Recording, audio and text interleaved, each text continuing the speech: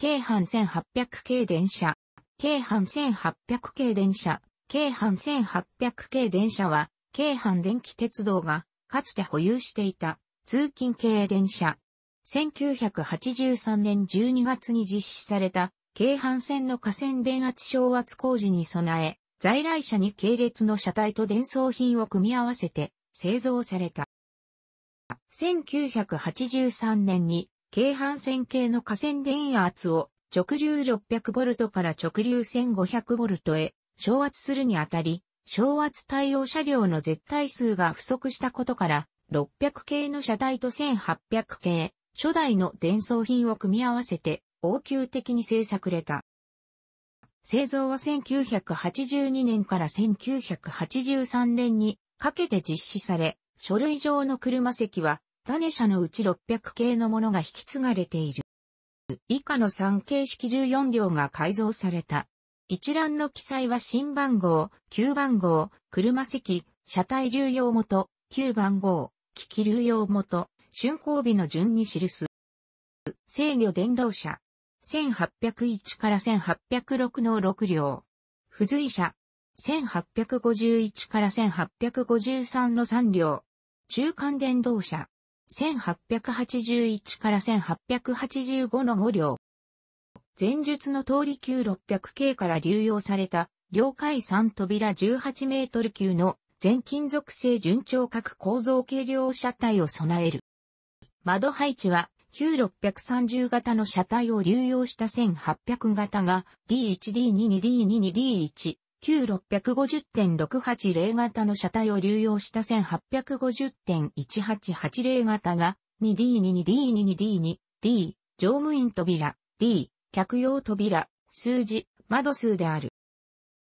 1800型には、9600型、2台ではなく、9630型の車体が使用されているが、これは、9630型が、9600系よりも、設計の古い1650型に由来し、車体の軽量化が徹底されていなかったため、強度の点では、かえって有利であったことによる。もっとも、その反面1800型は、側装下部に補強用のウィンドウシルと呼ばれる補強体が露出した幾分古風な外観となっており、平滑な側面形状の中間車と比較すると、急平な印象を与えていた。ただし、630型の特徴であった戸袋窓は、すべて埋められ、全消灯はシールドビームに等式に変更。妻面の貫通扉には、行き先表示器、種別表示器が設置され、車掌台側の妻窓は二段上昇式の冊子窓からゴム指示による固定窓へ変更された。また、微灯、標識灯も3000系以降の心臓車両と同じタイプのものとなっている。全車とも座席はロングシートで車体強度の関係から冷房装置は設置されず、京阪電気鉄道が独自開発した送風ファンに回転グリルを組み合わせた強制換気装置が天井に設置されている。塗装は製造当時の京阪線通勤車、標準色であった濃淡2色の緑によるツートンカラーである。極力死者となった2系列からの発生品をそのまま流用する方針とされたが、昇圧対応のため一部機器については大きな改造が実施され、また性能確保のために新製部品に交換された機器も存在する。1801.1803-1805.1806-1882.1884-1885の7両については、東洋電気製造 TDK-808 系、電動機が1802.1804.1881.1883の4両については三菱電気メガバイト -3005 系電動機が各社4機ずつ採された。ただし、いずれの電動機も昇圧に伴い絶縁強化などの改修が実施され、型番もそれぞれ TDK-808、6F とメガバイト -3005D となっている。この改造により、すべて1時間定格出力が 75kW から 90kW に引き上げられている。駆動装置は、東洋電気製造正規気筒採車が中空軸カルダン駆動、三菱電機製機器搭載車が WN ドライブを採用しており、また電動機の定格回転数が異なることから、波数比も前者は78、13イコール6.00、後者は80、17イコール4.39と違いである。基本的には1800系、初代からの機器流用で賄ったため、一軸電動化無軸式の東洋電気製造 ES-555 ES-555A と二軸電動化無軸式の東洋電気製造 ES-569A が転用され、単車小圧改造が実施されてそれぞれアッコフ H490 から555倍と回と、アッコフ H490 から569回となった。ただし、1803のみは、例外的に9810系由来の ES-555 C を改造したアッコフ H490 から 555C 回が搭載されている。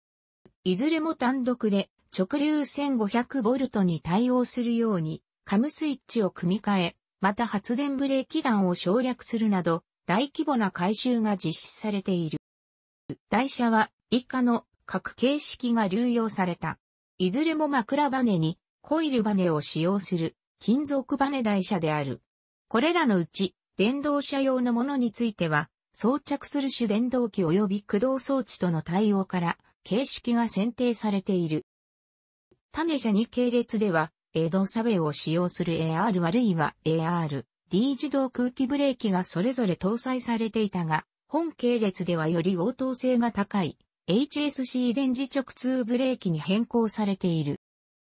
編成は以下の3編成を基本とされた。F はフォーメーション、編成を示す略記号。これらは編成の短さなどから普通や四川区での運用を中心に充当されたが、共通運用を組んでいた1900系で、定期検査や車両故障、事故などにより、車両不足が生じると、必要に応じて7両編成2本にも組み替え可能な構成となっており、実際に7両編成に組み替え、比例棒ながら、夏場に急行や準急運用に充当された事例が存在する。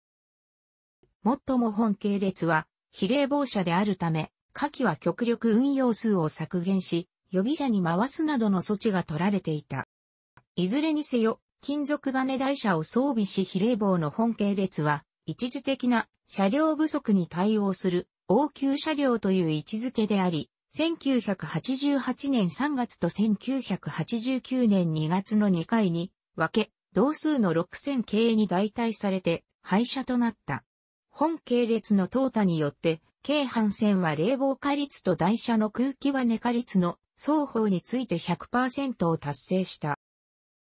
廃車後、1801の前頭部はカットボディとなり、寝屋川車両工場のマスコットかつ電話ボックスとして現在も使用されており、特に一般公開、ファミリーレールフェアが開催される際には一般公されている。